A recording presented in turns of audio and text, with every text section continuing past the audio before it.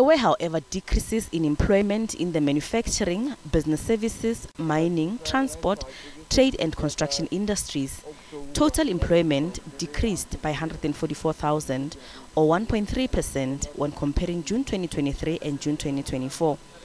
The year-on-year basic salary and wages increased by 4.4% between June 2023 and June 2024.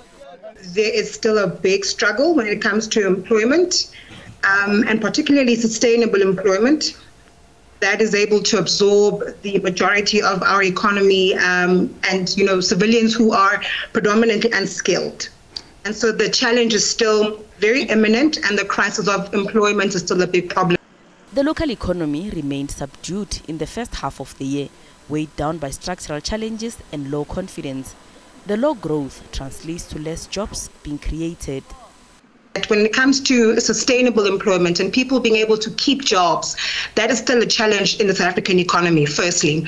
But secondly, when you look at the even the quarter on quarter growth of 0.4%, the net um, is actually a decline because the net is negative if you compare 0.4 to 1.3, which is the decline in the uh, year on year basis.